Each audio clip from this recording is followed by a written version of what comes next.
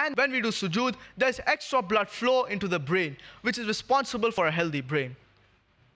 There's also extra blood flow into the skin of the face and the neck, which is helpful, especially in the cold seasons. And it prevents diseases like fibrositis and chilblains.